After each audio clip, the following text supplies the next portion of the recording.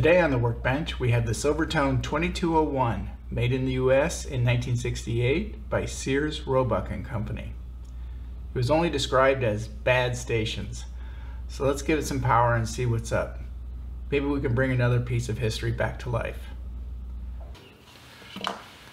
Doesn't look too bad. Looks like it takes what I think is a 9 volt battery, but in a funny configuration. Well, let's give it some power and see what we're up against. Well, we have a volume knob. Station? Sort.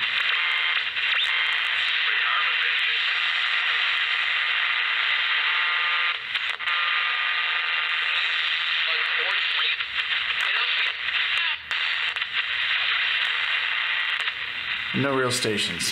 Okay, so let's replace the caps and uh, see what happens.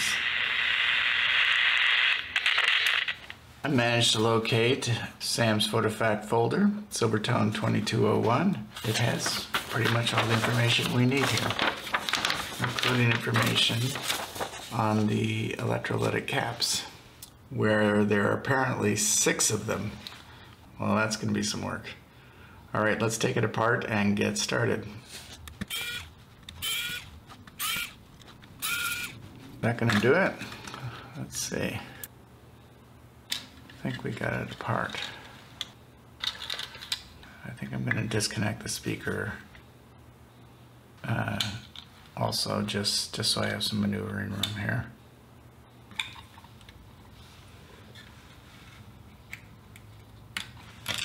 Okay. Now we got some room. So we have one, two, three, four, five, six. How could this thing have six caps in it? My God. All right. One by one we go.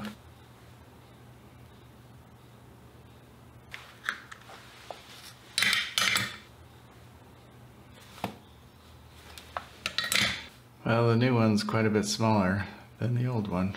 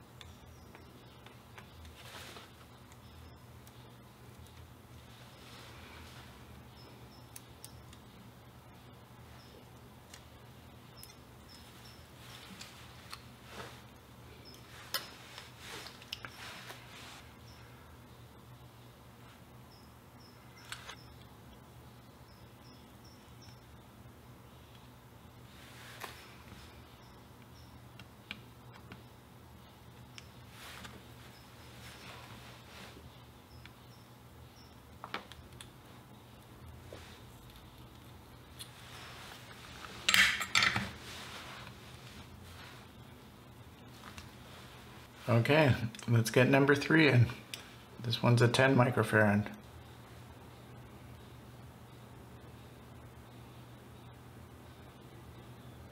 Much smaller than the original.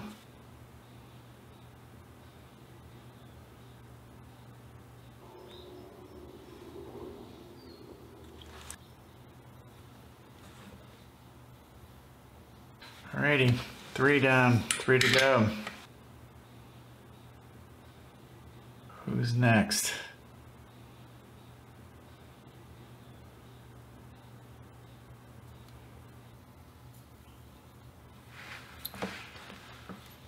Okay.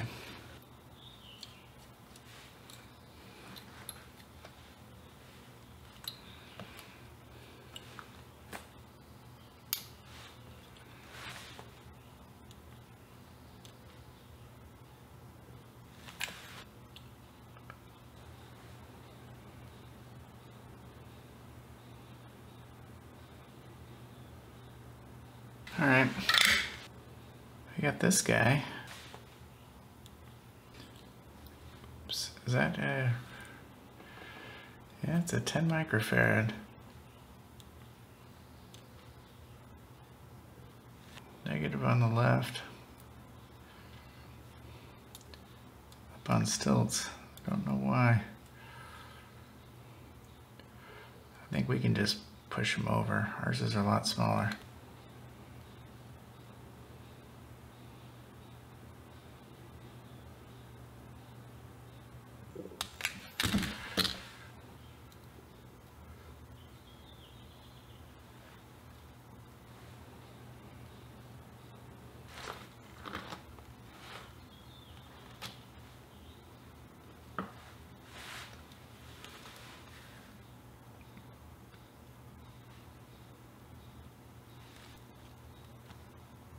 I finally figured out um, where in all these places did this capacitor go. I have to resolder a bunch of these places in because boy, I just couldn't figure it out. so let's get a bunch of guys put back together.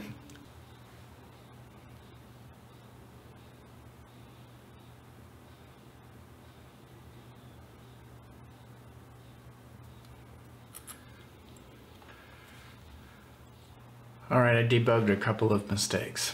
One, I put one of the electrolytic capacitors in backwards. The other mistake is in my zealous desoldering of those capacitors, I desoldered one of the resistors too. So now it's just putting it back together again and we have a working radio. Although it is a very dirty working radio, maybe I should take this opportunity to clean it.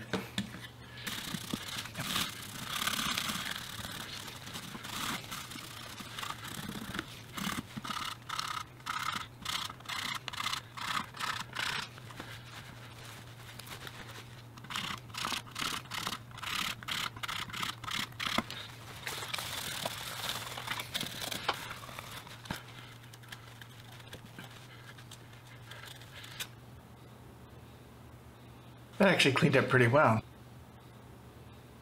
The uh, gold is quite easy to see now.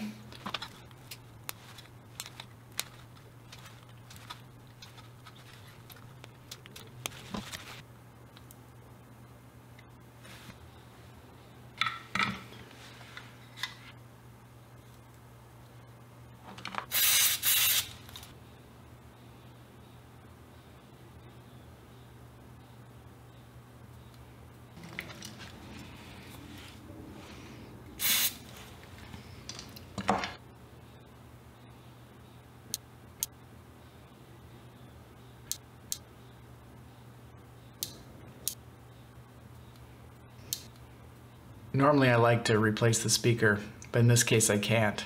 First of all, the speaker's 2 ohm, and the second most important reason is this nut holds the entire radio together, and it's integral to the speaker.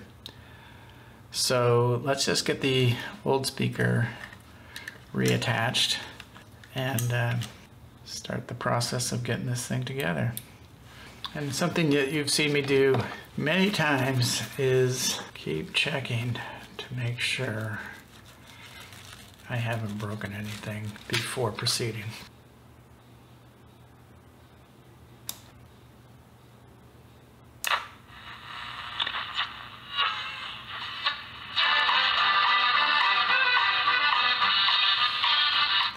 Well, I think that's a working radio.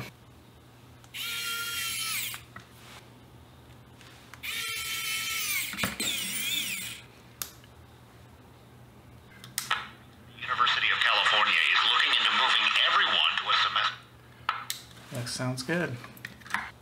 We're gonna have to get rid of these things that were used to hold the battery down. Or at least trim them.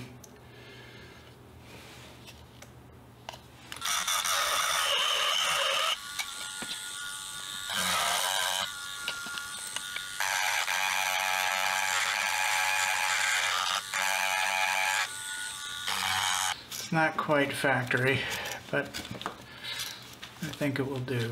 All right, let's get it together.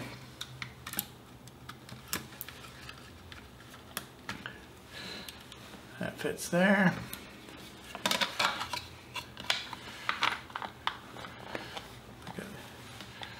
Well, thank you for watching. Uh, please subscribe. I'll be making more. And if you see anything I missed, again, please leave a comment. I'm here to learn.